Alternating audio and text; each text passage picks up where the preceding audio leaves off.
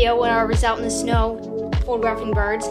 And right now it's time for another snow video because currently there is about a foot of snow on the ground. It's still coming down really hard. They're saying we could get up to two feet, which is crazy. That's the most snow that we've had here in years. Right now, you can just see there's just so much snow coming down. You can't even really see like across the street from my house right now because there's so much snow coming down. So I got my camera gear and it's time for some snowy photography. So I think you should be able to see me pretty well. Got my GoPro out the window.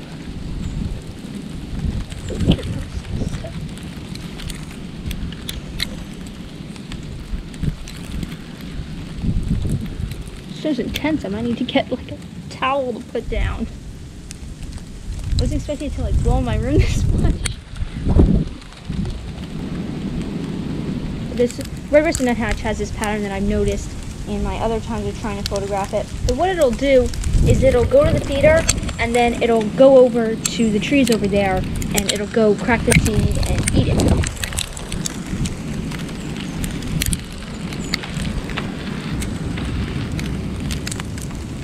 I need to close the window a little bit. Whoa, lens is all wet.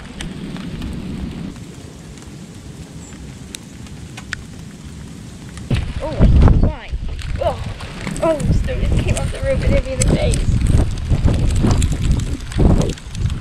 I might go outside in a minute. It might be easier, but I might try for some more high key shots like last time.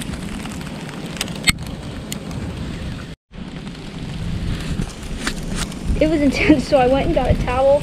I also put on rain pants and a, uh, a jacket.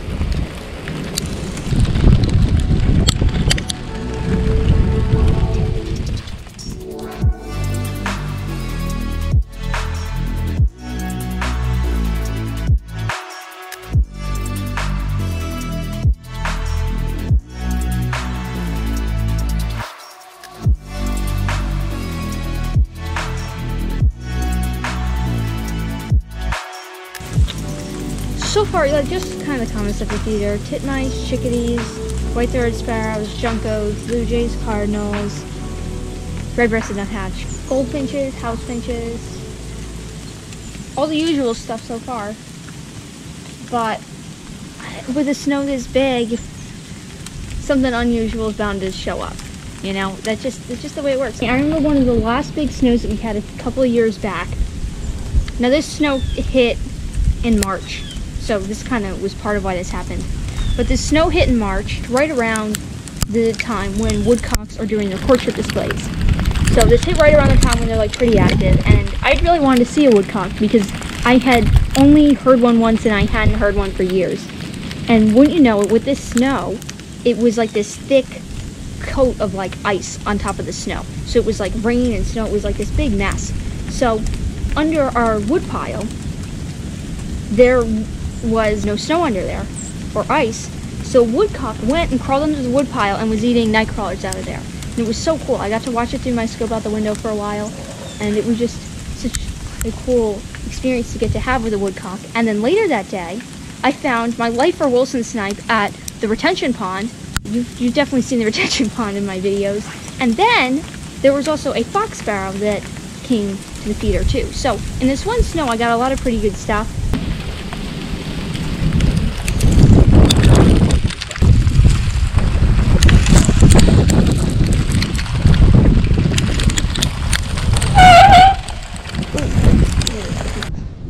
So I'm outside now. As you can see, there's a good amount of snow even after my dad plowed a little bit. So I'm out here now. I was trying to photograph birds out the window for a little while. It wasn't going that well because a lot of the birds were just kind of going to the feeder and were on the ground. So I'm actually going to get my ground pod out and try for some shots outside in just a minute. But first, I'm going to fill the feeders and everything like that. So now I'm out here, fill up the feeders. Got my camera on a ground pod, got the right angle viewfinder going, got the dry bag on the camera. We're all set.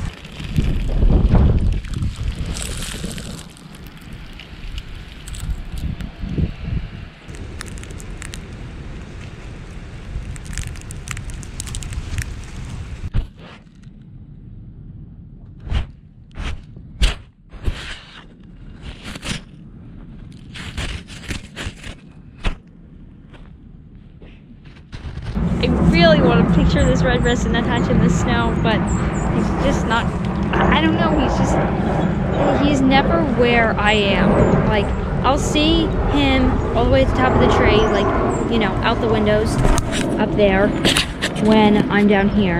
And then when I'm out the window, I see him down here. So it's like basically wherever I am, he's not. So, but I do really want a shot at him. So we'll see how this goes. Been waiting out here for a little while and he's still not coming. I know as soon as I go in the house, that's when he's gonna come. Just got a few decent shots of a white-throated sparrow that landed close. It's snowing a pretty good amount right now, so I like that. It's getting kind of dark out, so I'm shooting with a really low shutter speed right now. So, that's why, one of the reasons why I got the monopod going. My camera battery is also about to die, so I think I'm actually gonna go have to run in and get my second battery.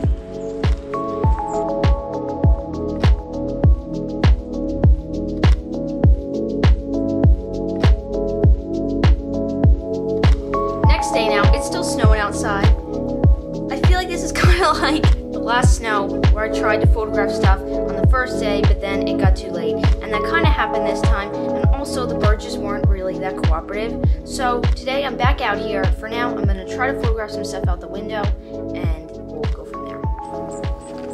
This is what it looks like outside the window. I've got this tree here, this tree here. There's some various bird feeders. And I also forgotten to mention this, but yesterday our gazebo went down. So I was actually, had just finished trying to photograph some stuff out the window when all of a sudden I heard all this banging and crashing and I looked and the gazebo went down. So that's kind of unfortunate, but that also happened yesterday. So there's the feeders. Red-breasted nuthatch is actually on the feeder right now. Just moved over to outside on the ground pod again. And oh, there's a blue jay. Just got everything set up. My usual spot right here. Just gonna switch that over to the right angle viewfinder. It's a lot of white-throated sparrows I hear. So, just gonna slip this on there. It's snowing a little bit. I probably should, I mean, it's not that bad, but I may have to go in for my waterproof bag if this picks up a little bit more. But I'm just gonna, oops, just gonna first get set up, make sure everything looks pretty good, signs wise and viewfinder wise. These sparrows are moving pretty quick, so I actually don't know if the right angle viewfinder is going to be the best for this type of situation. But we'll see. And maybe something good will come, maybe a fox sparrow. It's kind of what I'm hoping is like fox sparrow, American tree. Maybe even white crown. I've never found a white crown sparrow in the yard. And I've actually never really like photographed one well. So that would be really cool if I could do that. I saw one over the weekend, the immature, but wasn't really like photographing it because by the time I realized it was a white crown sparrow, it was already gone. So, time for some shots now, and I'll get back to you. So decent amount of time sitting under the bird feeders with my camera on the ground pod trying to get some shots. And I was able to get some decent shots, but honestly, the snow is so deep. We probably have like over a foot at this point, and it's still snowing, that I couldn't really get like I was trying to like pack the snow down, but it was like hard to pack it down. That I wasn't really able to get. So the last time when I was out in the snow, I was able to get like that high key junco shot where it was just like all white and you just saw the junco. This time I was able to get some similar shots, but you do see the wall, that wall right there, in the background of the pictures because I couldn't really get down far enough. Anyway, now I'm going to try for some shots out the window again. They're all little bird prints. If I had to guess, these are probably all juncos and white-throated sparrows. And they look about the right size, too. They're all over the place. Day three of snow photography, and they finally cleared out my street so I can get out and um, do some photography at some spots other than my yard. It's really cool to do photography in my yard, but it's also cool to explore some other local areas too.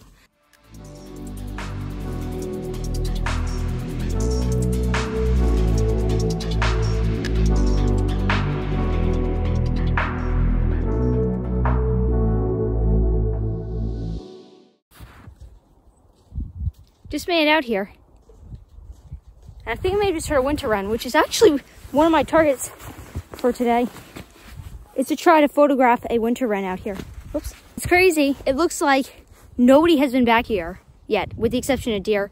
There's a lot of deer tracks. I don't really know.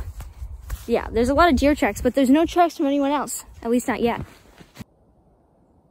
It's crazy the amount of sparrows and juncos that are in the fields. Right now, I'm actually just sitting in the fields with my camera and I was just waiting and a field sparrow just came up.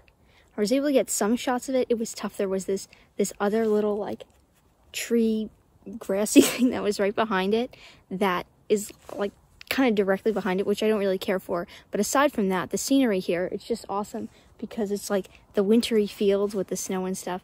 And this flock, this is probably like over a hundred birds, like not even exaggerating. And I see them flying up ahead, so I'm gonna go over to them. Oh, here goes some.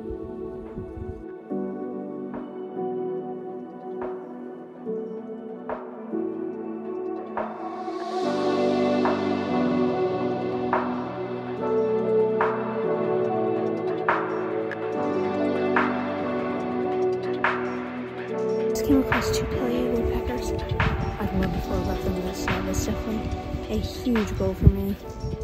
So I'm just being quiet. There he goes.